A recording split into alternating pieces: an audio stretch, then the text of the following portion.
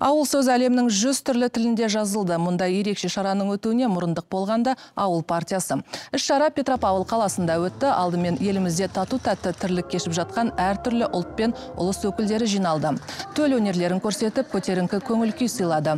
Кейін тақтаға ауыл сөзін туған тілдерінде жазды. Ауыл партиясының сапары ертең солтүстік Қазақстан облысының аудандарында жалғасады. Тамашалағандарыңыздай бүгін өлең айтылды ән де айтылды. Ә, бұның ә, ең басты маңыздылығы біздің ел қазақстан елі біздің туған жеріміздің осындай ә, тату тәтті өмір сүріп жатқан халықтардың достығын көрсет, көрсету мақсатында осындай іс шара ұйымдастырылды. Алда келе жатқан алғыс айту мерекесі барлығымызға қайырлы құтты болсын.